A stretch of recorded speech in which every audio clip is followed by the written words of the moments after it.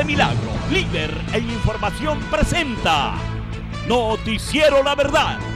Resumen de noticias de Milagro y de la región con imparcialidad, veracidad y transparencia. Noticiero La Verdad, periodismo independiente al servicio de Milagro.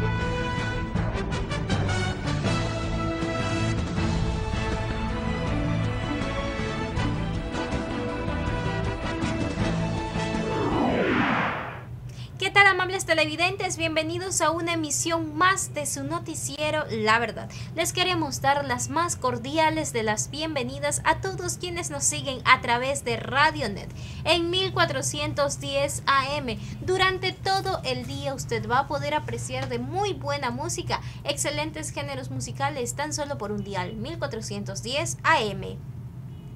Asimismo, saludamos a nuestros hermanos vinagreños que nos siguen por la www.prensalaverdad.com. Tan solo con un clic usted va a poder tener la mejor información, todo lo que se suscita en nuestra ciudad, tan solo por un clic www.prensalaverdad.com. Y bien, iniciamos con la información. El abogado Ernesto Vera nos da la información sobre la veeduría que realizan en el área educativo. Bien, vamos a conversar con el abogado eh, Vera, quien está aquí pues en el despacho donde labora durante el 2015, ya que ustedes son veedores ciudadanos eh, sobre educación y otros puntos que tenían ustedes pues encargados. Bueno, eh, al principio nosotros nos presentamos como veedores ciudadanos de educación de aquí del Cantón Milagro, en el cual nosotros nos presentábamos en cada escuela, en cada colegio que, que nosotros representábamos y en el 2015.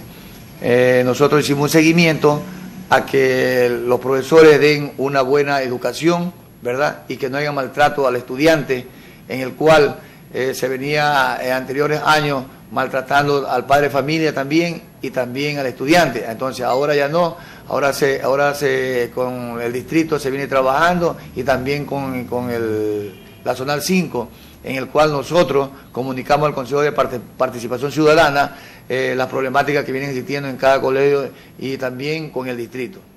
¿Se presentaron algunos casos en el 2015? Bueno, este, habían este, alumnos que llegaban a las escuelas, ¿verdad? Y los dejaban afuera cuando dice el, ministro de Educación que eh, ningún estudiante puede quedarse afuera de las instituciones públicas, como son las escuelas y los colegios. Ellos tienen que permanecer dentro de las escuelas. Y, también la problemática que existía en las escuelas y los colegios era que se retiraron a los conserjes, ¿verdad? Y, se promovió el robo. Los ladrones se aprovecharon para estruchar las escuelas y los colegios.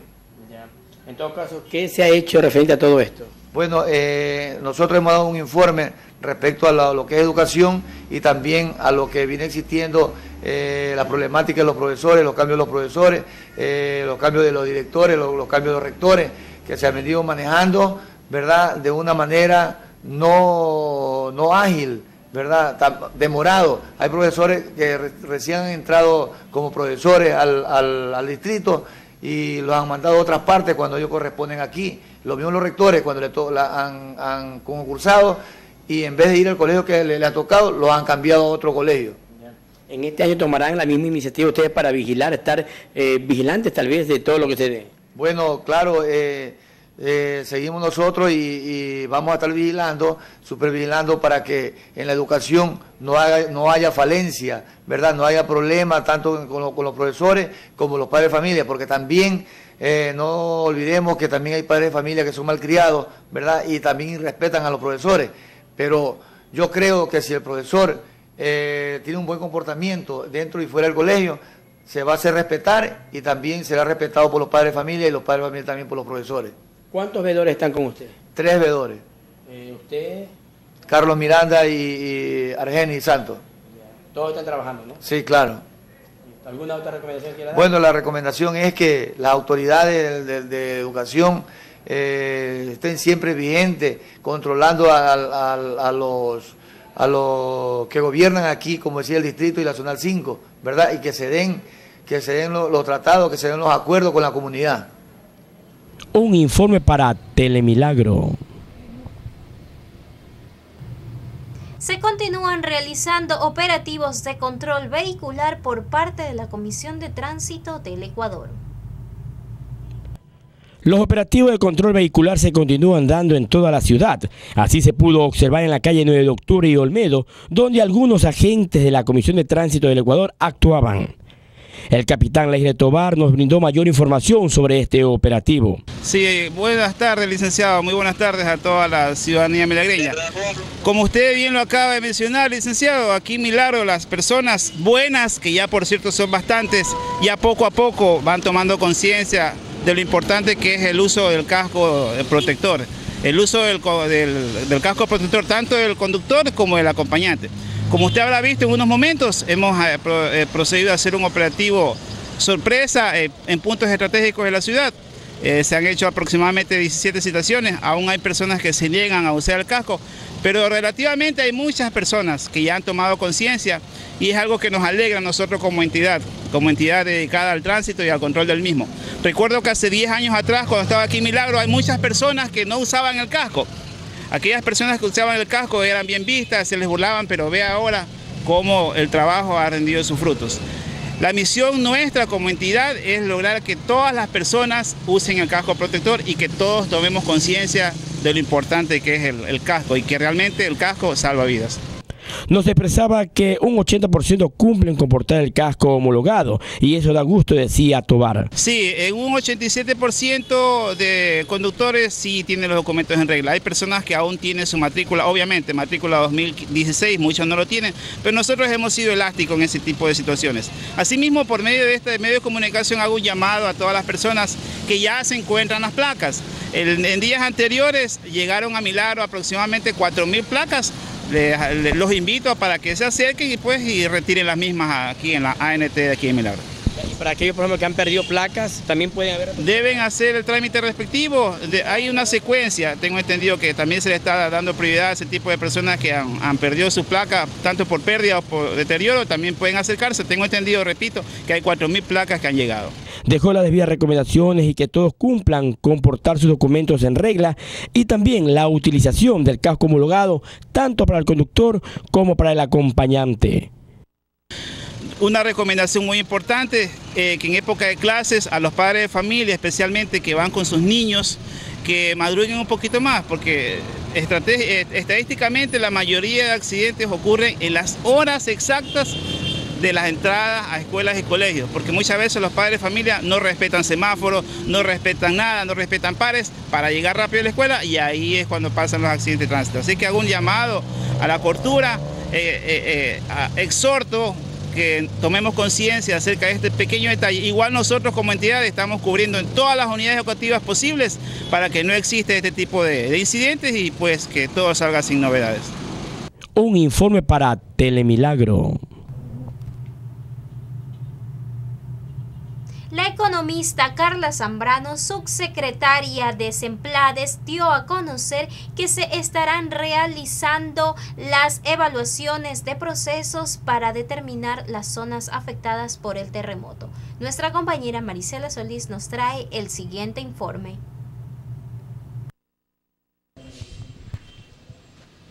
Bien, nos encontramos en las instalaciones de la Subsecretaría de la Zona 5 de la Secretaría Nacional de Planificación y Desarrollo Semplades. En este momento vamos a escuchar al economista Carla Zambrano, quien nos va a indicar acerca del tema del inicio del proceso de evaluación y diagnóstico de zonas afectadas previo al plan de reconstrucción. Vamos a escucharlo. Efectivamente, la SEMPLADES ha sido encargada por el presidente de la República para hacer ese levantamiento de, información que nos permitirá, me permitirá tener una línea base para un diagnóstico que es el que va a servir para hacer este plan de reconstrucción y de mejora. Sobre todo, eh, me gustaría resaltar ese tema porque no es solamente reconstruir exactamente lo mismo que estaba, sino poder tomarlo como una oportunidad. Todos sabemos que nuestras ciudades han crecido de manera desordenada y que muchas veces esto es lo que ha generado también que estemos en zona de riesgo, porque el riesgo no es solamente la amenaza, el riesgo también es la vulnerabilidad que se tiene. Y esta vulnerabilidad es precisamente cuando se construye en zonas, en zonas que no son apropiadas para construcciones de ese tipo o en su defecto cuando se construye con materiales que no son los apropiados, cuando no se construye con bases antisísmicas y ese tipo de cosas. Entonces lo que se pretende es no solamente hacer un plan para volver a tener exactamente lo mismo, sino para tener, para tener lo mismo pero mejor, o sea, mejorado una reconstrucción ordenada. Para eso también se ha trabajado lo que es el comité. Este comité presidido por el vicepresidente de la República eh, incluye a las, a las autoridades locales porque lo óptimo, y eso también lo dice la metodología internacional de la CEPAL ONU con la que estamos trabajando, dice que la planificación debe hacerse localmente, que es lo que nosotros ya veníamos haciendo en el país. Como ustedes saben, cada, cada GAT, cada gobierno autónomo descentralizado, ya sea municipal, provincial o parroquial, tenía que hacer su planificación local del ordenamiento territorial y del desarrollo de, su jurisdicción.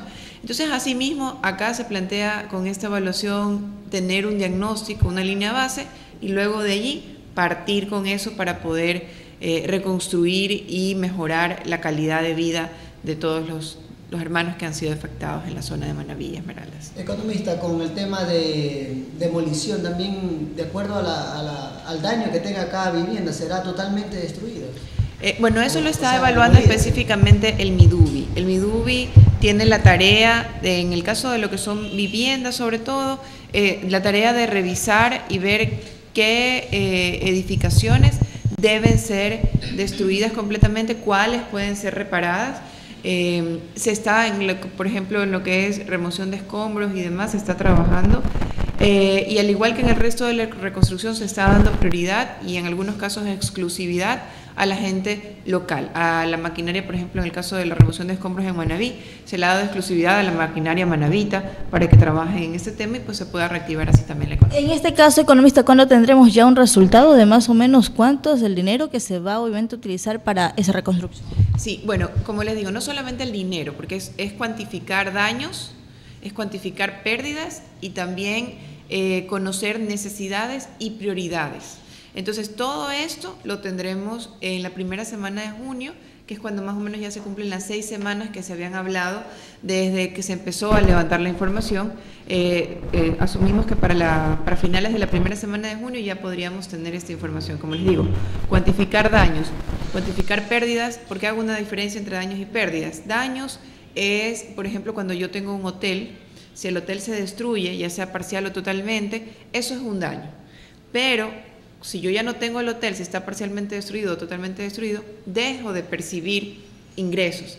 Eso es lo que se llama pérdidas. Entonces todo eso tiene que cuantificarse y, también pues establecer cuáles son las necesidades, porque como digo, no es solamente volver a tener exactamente lo mismo que teníamos, sino lo que realmente se necesita de manera ordenada y dentro de eso establecer unas prioridades. Porque como no todo se puede hacer al mismo tiempo, se tiene que establecer una hoja de ruta de qué se hace primero, qué se hace en mediano plazo y qué ya se puede hacer en el largo plazo. ¿Las instituciones ustedes también se hicieron presente con alguna entrega de víveres, vituallas, contingentes? Sí, bueno, nosotros hemos estado trabajando orgánicamente con todas las instituciones, especialmente con el MIES, que son quienes se están encargado, eh, encargando de, de los acopios de las donaciones. Nosotros como institución, como funcionarios públicos, como personas, como ciudadanos, hemos hecho también donaciones acá desde la subsecretaría. Em, hemos colaborado también como voluntarios, muchos de los funcionarios de acá, me incluyo, hemos colaborado como voluntarios. Y también las empleadas, y eso creo que es lo más importante resaltar porque el tema solidario, creo todo el país se ha volcado con esta solidaridad.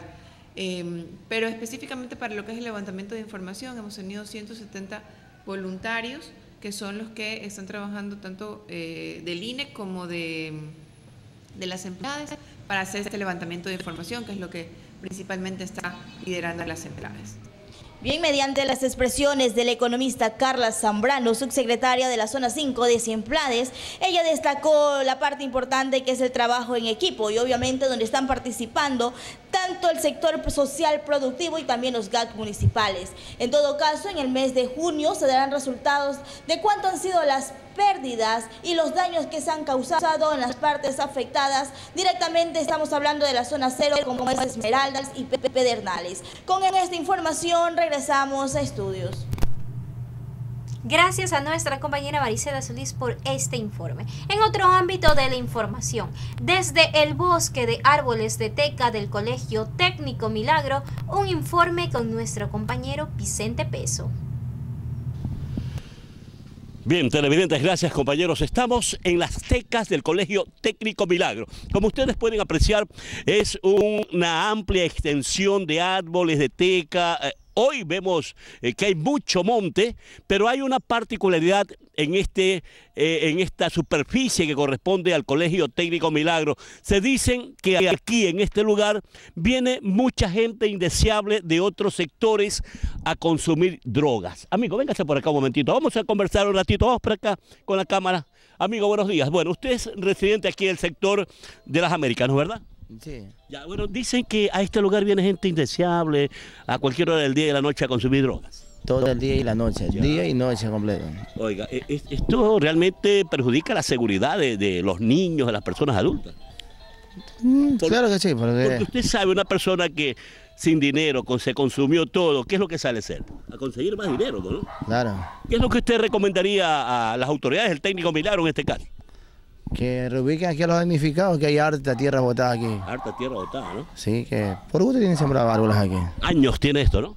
Sí, porque aquí era una ciudadela, aquí sacaron la ciudadela y voy a sembrar árboles aquí. vamos a ver, vamos a conversar con un amiguito que viene ahorita saliendo del interior. Amigo, buenos días. ¿Usted tiene algún negocio aquí adentro? ¿Vive aquí adentro? ¿Qué es lo que pasa? ¿Qué hay aquí adentro? No. ¿Qué viene haciendo adentro usted? No me venga preguntando, no me venga grabando. ¿Pero, pero qué viene haciendo adentro? ¿Está trabajando? Está, ¿Es agricultor? ¿Qué, qué está haciendo? ¿Pero por qué me pregunta eso? Pero porque me interesa saber para ver si hacemos una promoción y mandamos acá a la gente a trabajar en la agricultura. ¿Usted es agricultor, amigo? ¿Es agricultor? No. Esa cosa, pues, señora. Pero con todo respeto, maestro. Eh, ¿Es agricultor o no es agricultor? Con todo respeto. Ya, sí, queremos información, queremos buscar fuentes de trabajo. Respeto.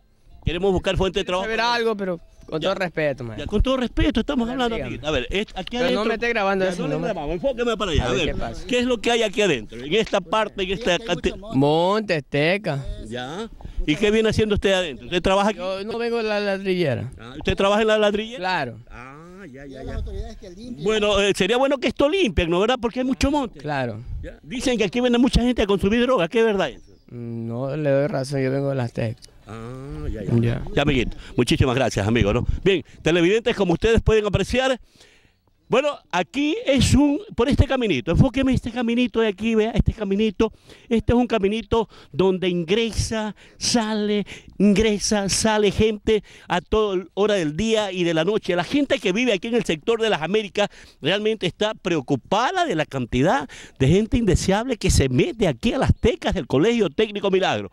Eh, no sé si hay otro morador que quiera dialogar, vamos a conversar acá con la señora, estamos televidentes aquí en las Américas, eh, mirando este, esta gran extensión de, vegetación del Colegio Técnico Milagro. Señora, buenos días.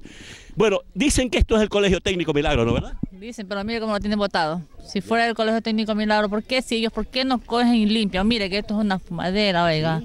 Esto sí ya... Que entran de día y de noche a cualquier hora. este es un mercadillo, ¿no? Esto es un mercadillo, créamelo. Cuando estaba la ciudadela, cuando estaba la ciudadela, esto era, era rey, pues. Esto, esto, miren, tantas cosas, que, casas que votaron, amigos. ¿Qué es lo que usted recomendaría, señora, a las autoridades? Que la hagan ciudadela. ¿Sí? Que la hagan ciudadela. Hay harta tierra para la gente que no tiene dónde vivir. Que hay gente que realmente necesitan, amigos. Gente pobre que necesita y la tierra como está botada. Y el técnico ni siquiera trata más que de hacer eh, un, más que de cerrar algo, nada de eso, usted es votado, amigo. Créanme que esto de aquí, la gente roba y pasa carrera. Hace tiempo atrás hubo un accidente aquí en toda la avenida. Ya. ¿Qué hizo el, que mató al hombre? A un comerciante de aquí, de la, de la Colón. Lo mata, lo deja tirado ahí, el hombre corrió por acá y se fue. Por acá. ¿Y aquí quién lo saca? Nadie.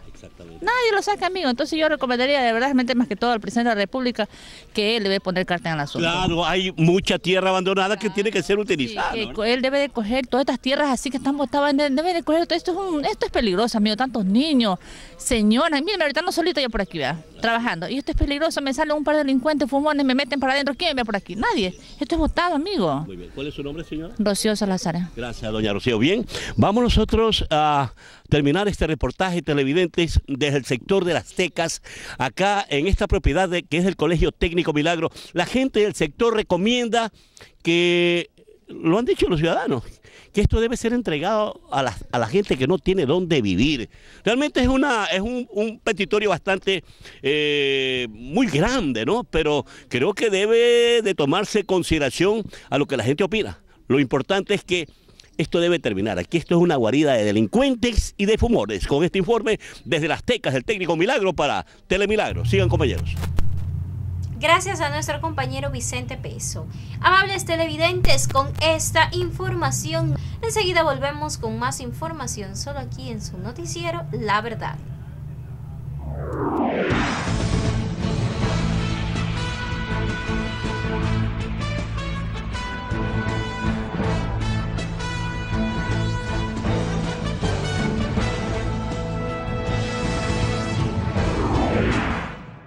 Gracias por continuar en nuestra sintonía, seguimos informando. Desde el café de El Tren, la Defensoría del Pueblo realizó la presentación de la campaña Conoce tus derechos.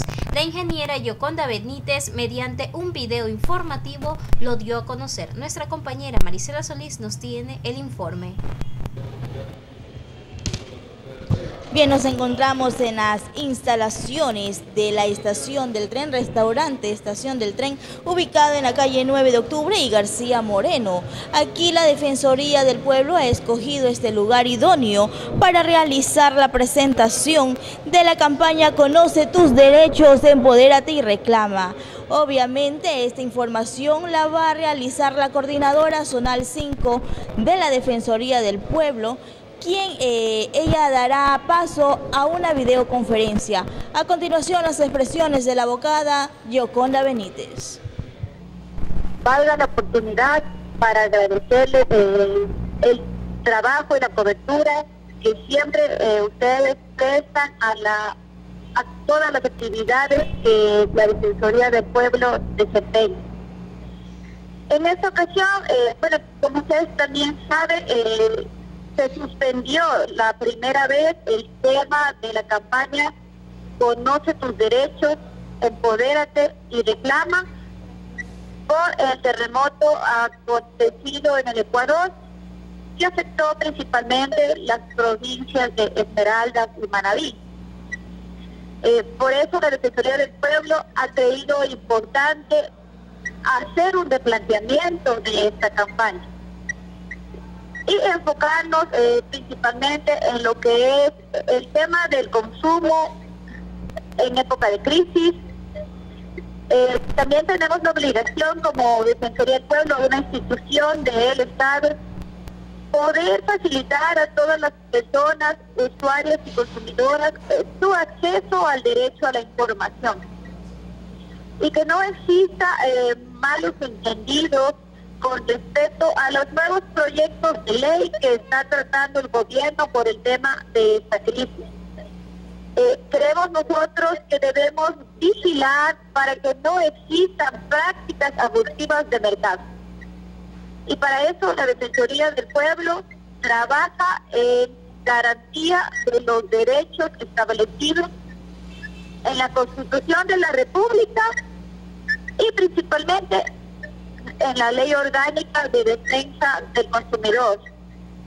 Comentarles también de manera general que constantemente venimos haciendo acercamientos con prestadoras de servicios públicos domiciliarios y proveedoras de bienes de consumo masivo, buscando acercamientos que beneficien a resolver los reclamos que tiene la ciudadanía. En los últimos días hemos tenido buenos resultados eh, en los casos de los reclamos de cocinas de inducción que han aumentado últimamente. Hemos tenido contactos incluso con el Ministerio de Energía Eléctrica, eh, directamente con la CENEL y las casas proveedoras. El 100% de los reclamos que se han puesto por esta materia, aproximadamente el 75% de ellos están siendo resueltos a favor de las personas consumidoras. Eh, también es importante decirles el acercamiento que se está haciendo con Arcotel, en materia de telecomunicaciones y cualquier resultado que consigamos eh, será puesto también en conocimiento de ustedes. La semana que viene eh, estamos planificando una reunión con el Ministerio de la Producción de la Coordinación 5 en Guayaquil para trabajar sobre temas de calidad en los productos y. Luego de la conferencia realizada con la abogada Yoconda Benítez a través de videoconferencia, un representante de la Defensoría del Pueblo realizó una pequeña dinámica con los medios de comunicación locales. Obviamente luego de esto se dará paso al desayuno informativo previsto por esta misma institución. Con esta información desde las instalaciones del Café Tren de nuestra ciudad, regresamos a estudios. Un parque infantil en deplorables condiciones necesita ser atendido en las Américas. Desde la comunidad, nuestro compañero Vicente Peso. Bueno, gracias compañeras en estudios.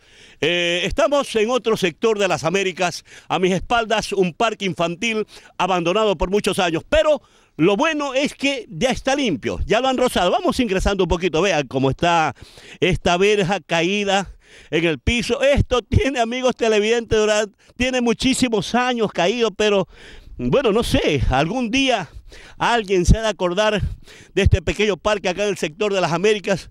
Bueno, los, sub y bajas están más o menos en buen estado. Por acá los columpios, los columpios desaparecieron definitivamente. Ya se pueden imaginar ustedes, vean, aquí había columpios, pero ya no hay columpios lamentablemente. Lo que sí está limpio, han puesto un poco de lastre. Eh, lo que la gente quiere, este sector lamentablemente a esta hora todo el mundo está cocinando, todo el mundo está al interior de sus viviendas. Lo que la gente quiere, me decían en una ocasión anterior, es que a este parquecito se le dé vida. Aquí en las Américas hay muchos niños, demasiados niños que necesitan un lugar como el que estamos observando televidentes para la recreación.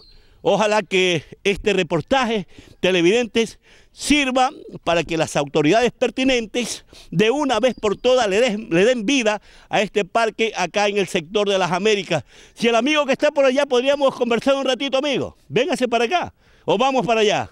Bueno, vamos avanzando del amigo un momentito. Estamos en las Américas televidentes. Realmente aquí hay mucho que hacer en este parque. Hay mucho que hacer porque esto no, no es de ahora. Esto tiene muchísimos años. Caído prácticamente ese parque y los niños. ¿Dónde juegan los niños? No hay donde jugar. Amigo, buenos días.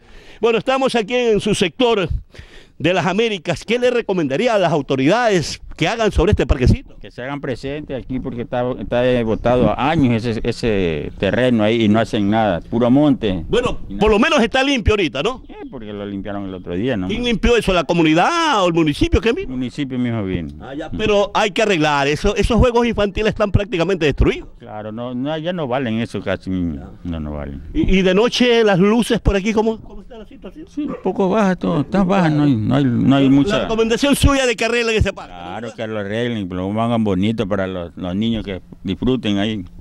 Muy bien, mi querido amigo, mucho gusto, ¿no? Bueno, vamos a concluir, televidentes, este pequeño reportaje desde las Américas. A mis espaldas, un parque infantil prácticamente destruido. La comunidad quiere que, por favor, alguien se acuerde de los niños del sector de las Américas. Con este informe, vamos a estudios, compañeros. Mediante juegos y dinámicas, jóvenes estudiantes de la Unidad Educativa Otto Arosemena Gómez recordaron el Día Mundial de las Matemáticas. Este día fue instaurado por la UNESCO para promover espacios donde se pueda explicar lo interesante y divertido que son las matemáticas. El área de esta asignatura de la unidad educativa Otto Arose Mena Gómez abrió las puertas a sus estudiantes para que conozcan en qué consisten las matemáticas y cómo se puede disfrutar cuando se aprende. Bueno, el día de hoy tenemos una exposición acerca de las matemáticas y yo voy a hablar sobre la palabra matemática. La etimología de la palabra matemática se remite al griego en el que significaba conocimiento. Se define como la ciencia formal y exacta que basada en los principios de la lógica estudia y se establece relaciones entre los entes abstractos. Este concepto de entes abstractos incluye números y figuras geométricas y símbolos, entre otros, en el campo del estudio de las matemáticas fue modificándose con el tiempo. Eh, hasta el siglo XIX solo se estudiaban las cantidades y el espacio pero con el pasar del tiempo fue remodificándose este concepto. Y nuestros compañeros aquí presentes tenemos todo, todo una serie de preguntas para nuestros compañeros, juegos lógicos en el cuales ellos pueden participar y aprender mucho más que, y ver que la matemática no es una materia aburrida, sino una forma en la cual tú te puedes divertir eh, utilizando tu mente y, y expresándote y viendo cómo son los números, que son muy divertidos. Gracias. Muy buenos días, estamos aquí en lo que es el Día Mundial de las Matemáticas. Hemos hecho lo que son unas pequeñas dinámicas, tanto exposiciones como juegos matemáticos, para que así sean más divertidos para cada uno de los estudiantes. Este, eh, mi nombre es Gilka Tiusca Chilán Contreras, estuve en el primero bachillerato P y bueno, lo que me ha tocado a mí es dar un juego matemático, en el cual consiste en atinar en cualquiera de estos rollitos y contestar cualquiera de estas preguntas en un determinado tiempo que es un minuto. Como pueden ver aquí, esto es una forma muy divertida para enseñarles a los chicos lo que es razonamiento y la lógica de la matemática. Eh, gracias que esto nos ayuda a, pensar más y a desenvolvernos muy bien. Eh, como vemos también hay más de más stands donde, donde van a exponer este, sobre lo que son las matemáticas, las ecuaciones y todo eso. Eso es lo que ha hecho la unidad educativa para cada uno de sus, para uno, para cada uno de sus queridos estudiantes. Gracias. Bajo la mirada del director del área, Rodrigo Jurado, y de la máxima autoridad de la unidad educativa, Aquiles Segarra, la actividad académica se desarrolló con todo éxito. Vicente Peso, Telemilagro. La psicóloga Jennifer Pérez, secretaria del Consejo Cantonal de Protección y Derechos, nos da a conocer sobre la elección del segundo Consejo Consultivo de la Niñez y Adolescencia. Veamos el siguiente informe. Bien, nos encontramos con la psicóloga Jennifer Pérez. Ella es secretaria del Consejo Cantonal de Protección de Derecho de la Niñez y la Adolescencia. Vamos a dialogar con ella acerca de un evento que van a tener en esta tarde. Sí, pues como ustedes bien saben, nosotros como Consejo Cantonal de Protección de Derechos, presidido pues por nuestra alcaldesa, la economista Denise Robles, creando siempre espacios de participación, pues hoy dentro de nuestra eh, programación nos ha correspondido ya realizar el segundo Consejo Consultivo de Niños, Niñas y Adolescentes. Recordemos que hace dos años atrás se eligió el primer Consejo Consultivo y pues de alguna otra forma ya terminaron su periodo y pues estamos procediendo a realizar el segundo evento para elegir a los nuevos representantes. Estos consisten en niños y niñas de 8 a 17 años de edad. Eh, tenemos aproximadamente cerca de 300 este, niños y niñas inscritos. El día de hoy pues ya eh, comenzaremos con el proceso de inducción donde van a tener un tiempo de integración y de conocer eh, cuáles son los derechos de los niños, niñas adolescentes, cuál sería su función si llegaran a ser elegidos como Consejo Consultivo de Niñas y Adolescencia de Milán. Bueno, ¿cuál sería el proceso para la elección? Bueno, el proceso de elección se lo hace mediante un consenso, ¿no? Eh, tenemos ocho representantes, un representante de los grupos artísticos, un representante de los clubes de niños, un representante de las escuelas particulares, un representante de escuelas fiscales, de colegios fiscales, de eh, colegios eh, particulares, de niños con discapacidad y también de niños trabajadores de la calle. Entonces, cada uno con esta representación se los dividirá en grupos y entre ellos pues tendrán que elegir cuál sería su representante dentro de esta categoría. Después de eso, cuando ya tengamos este, elegidos a los ocho representantes, internamente con el Consejo Cantonal de Protección de Derechos se, elegirá la directiva, no entre ellos, quién será el presidente, el vicepresidente, el secretario y todas las designaciones que se encuentran dentro de la directiva. Bueno, ¿cuál es el compromiso de este grupo? ¿Cuál es el fin? ¿Para qué se elige? ¿Cuál es el deber de? Bueno, como lo dice en el artículo 80 de la Ley Orgánica de participación ciudadana, su función es netamente consultiva y de vigilancia de derechos. En el primer Consejo Consultivo de Niños, Niñas Adolescentes, que igual también el día sábado que, haremos un programa de clausura del evento, el primer Consejo Consultivo estará dando una pequeña rendición de cuentas de qué es lo que ellos hicieron junto al Consejo de Protección de Derechos en esos dos años. Eh, vale recalcar que eh, lo primordial de ellos es la vigilancia de los derechos y también la difusión de los mismos. En el anterior Consejo Consultivo, que ya está terminando su periodo, pues hicieron muchísimas campañas de difusión de no al trabajo infantil, de no al maltrato, del buen trato, de lo que es integridad sexual eh, hacia niños, niñas y adolescentes también el vigilar que se cumplan los procesos, los, que se cumplan los procesos democráticos dentro de eh, los colegios y las escuelas. ¿no? Esto fue una ardua labor de parte de los niños y niñas al Consejo, que estuvieron yendo de colegio en colegio vigilando que se cumplan estos procesos, porque antes no se los daba así, por medio de debates, y pues llegaron eh, a oídos de ellos algunos niños diciendo que en sus colegios no se daba así. Entonces ellos fueron a hacer vigilancia de la misma y, y pudieron... este vigilar que eh, se cumplan estos procesos democráticos. También eh, viajar hacia algunas ciudades, eh, no solamente compartir con niños de Milagro, sino con niños de todo el país. Tuvieron algunos viajes como Ibarra, Quito, Cuenca, Oña, diversas ciudades que lo que hacían es compartir y socializar intercambiar experiencias de las necesidades de los niños, niñas, adolescentes en temas de derechos y vulneración de los mismos. Entonces cabe recalcar también que en Milagro, eh, eh, dentro de la provincia del Guayas, quedó electo como eh, los representantes principales y esperamos que este año con este nuevo grupo que ingresa pues podamos también dejar en alto el nombre de nuestra ciudad y por ende de nuestra provincia. Bien, listo. Bueno, estas han sido expresiones de la psicóloga Jennifer Pérez. Ella recalcó que el día de hoy tendrán este pequeño programa y el día de mañana también se realizará ya obviamente la clausura del mismo. Con esta información regresamos a estudios. Y bien, amables televidentes, con esta información contaremos con el comentario del día a cargo de nuestro director, abogado William Reyes. Ya volvemos.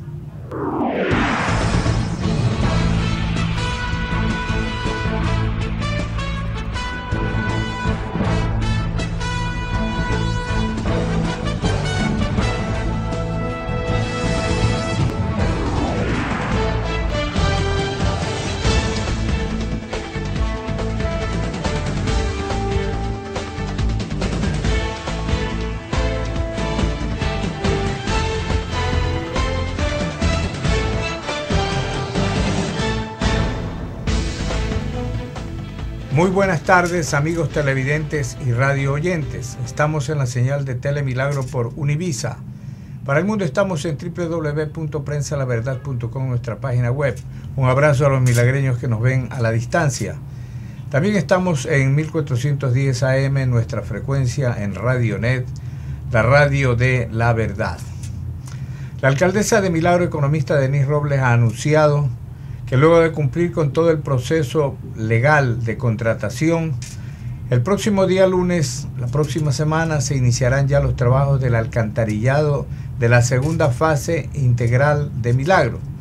Este proceso de alcantarillado comprende tres etapas. Una primera que culminó hace poco y la segunda que se va a iniciar por gestión exclusivamente de esta administración y con el ofrecimiento formal que hizo el presidente Rafael Correa aquí en Milagro en las fiestas del año pasado, cuando anunció la entrega de un crédito no reembolsable del Banco del Estado por más de 10 millones de dólares para financiar la segunda fase del alcantarillado. Crédito no reembolsable significa que esto no se va a pagar, no les va a costar a los milagreños, no vamos a tener que pagar nosotros por la obra. Es una obra financiada y entregada por el gobierno nacional del presidente Rafael Correa. Esta sin lugar a dudas es la más importante obra que va a recibir Milagro de parte del gobierno del presidente Correa, lo cual nos llena de satisfacción, porque el alcantarillado es vital para el desarrollo de toda ciudad. Una ciudad sin alcantarillado es una ciudad que no puede progresar, es una ciudad enferma. El alcantarillado es vital, el agua potable igual, para el desarrollo de los pueblos.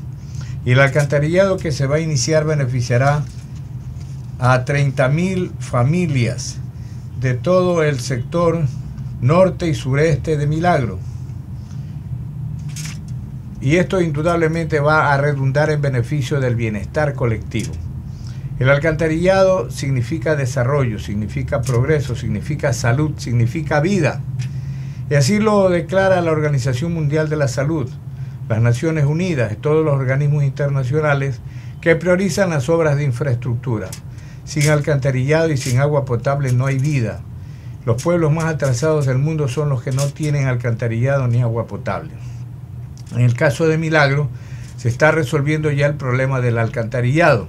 Algún momento tendrá que resolverse también el problema del agua potable. Pero el alcantarillado que se va a iniciar en su segunda fase el próximo día lunes sin lugar a dudas es un paso importante en la vida de Milagro. Por otro lado, vemos que se siguen dando operativos de la Comisión de Tránsito en distintos sectores de la ciudad lo cual ha redundado también en beneficio de la seguridad ciudadana. Y hay menos accidentes de tránsito.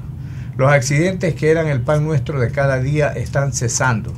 Esto obedece a los operativos y a que la gente también está haciendo conciencia de la necesidad de autoprotegerse observando la ley. Los señores motociclistas usando cascos homologados para de esa manera protegerse.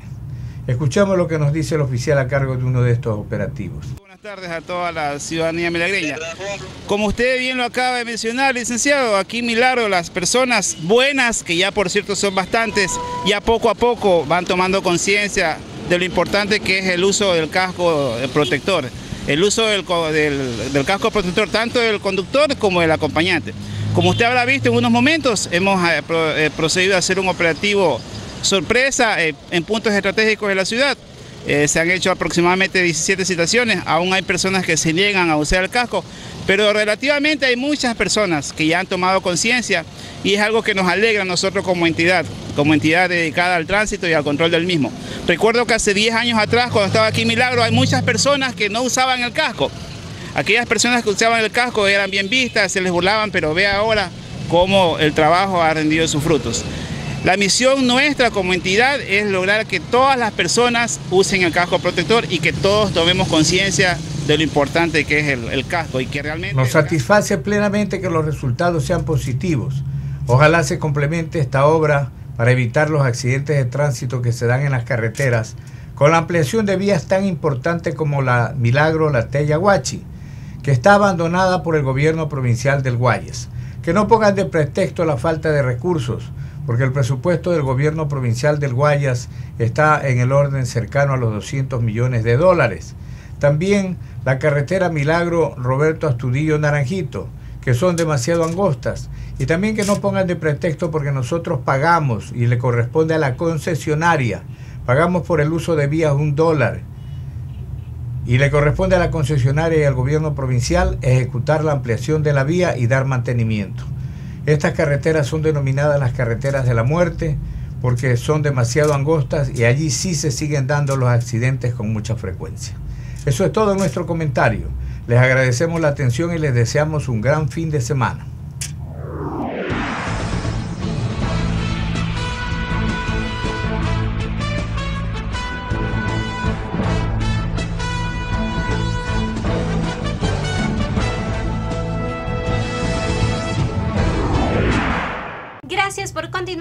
Sintonía, seguimos informando.